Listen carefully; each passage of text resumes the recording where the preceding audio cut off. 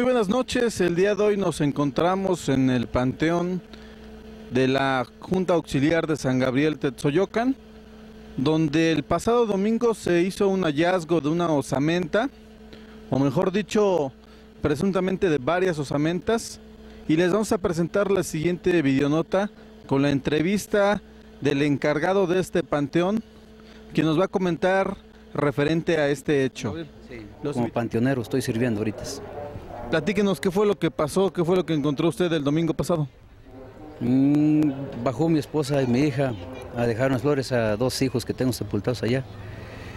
Y se llevaron una sorpresa de que encontraron una caja como de 70 centímetros, de largo como por unos 40 de ancho, con restos de cuerpos humanos, huesamento y cuerpo de la cintura para abajo y su cráneo desbaratado pues. Entonces bajé para abajo para ver qué pasaba y este, pues tan luego vi eso, subí a dar parte a la presidencia, a donde le dije al presidente que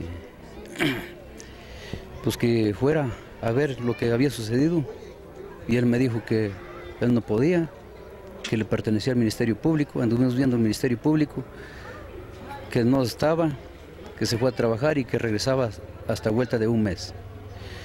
Entonces de ahí pues, por radio se pidió apoyo al municipio, que es San Simón y Igualtepec.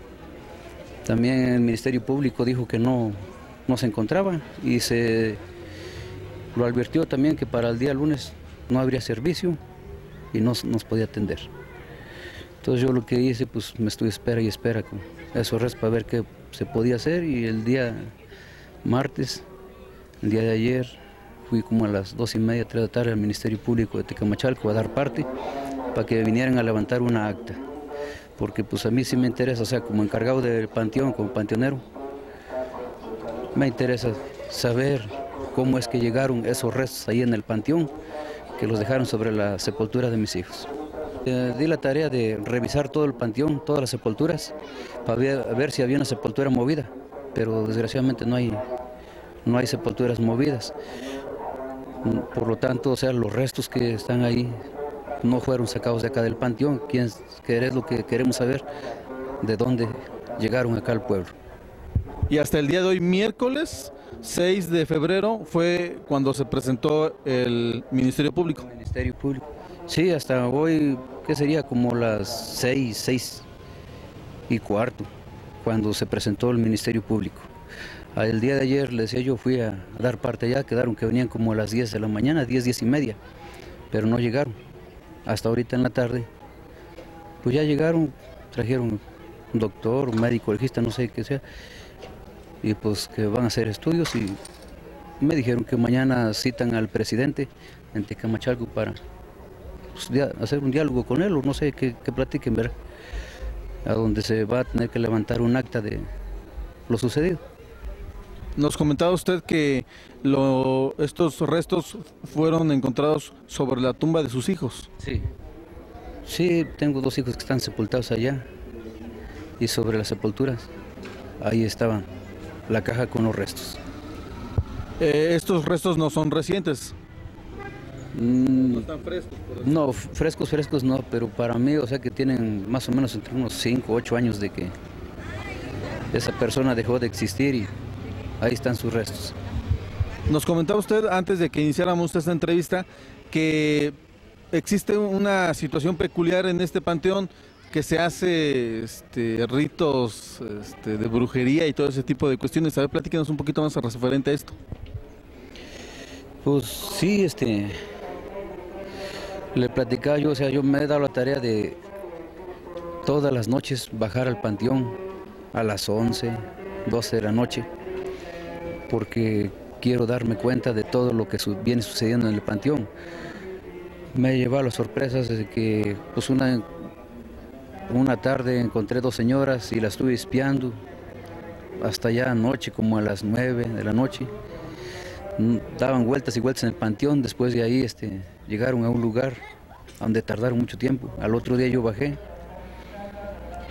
y temprano y ya encontré la tierra movida le comencé a mover y ya me encontré en que estaba una olla un recipiente como de 8 o 10 litros y tenía agua, fotografía de un muchacho escuelero, un overall de mecánico, pues donde pensaban hacer la maldad. Y a, través de todo eso, pues este, en otra ocasión me encontré con una bolsa grande como de unos 80 centímetros, con cuatro cirios negros. Y a través de todo eso, pues hay tantas cosas que van a hacer maldad en el panteón. Entonces por eso mi trabajo es, o sea, yo me desempeñaba a estar dando vueltas allá en el panteón para ver quiénes son los que hacen maldad y pues pasarlos a, a las autoridades. Así lo he hecho con personas quienes agarran el lugar del panteón como si fuera un hotel. Las voy encontrando y las vamos pasando a, a la presidencia.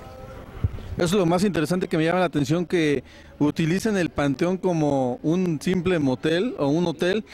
Yo creo que hay que tenerle respeto a los muertos y como que no es un lugar muy propicio y sobre todo muy higiénico como para hacer ese tipo de acciones, ¿no? Sí, sí, pues yo como lo he comentado a varias personas y yo he insistido al presidente auxiliar que hagamos una junta aquí al pueblo para poner al tanto a la gente, o sea que no está bien lo que están haciendo allá. Yo ese lugar del panteón, yo lo considero como si fuera otra, en la religión católica como si fuera otra iglesia. Es un lugar de respeto y no tenemos por qué faltar el respeto a ir a hacer tonterías allá. Hay lugares donde se pueden hacer, pero no precisamente allá sobre las lápidas. ¿Sí? Oiga, yo le haría otra pregunta. ¿Y no le da miedo cuando usted hace el recorrido y encuentra todo ese tipo de cuestiones de brujería y demás? ¿No le da miedo agarrarlos y, a lo mejor por ahí que le entre la mala vibra o cuestiones de estilo?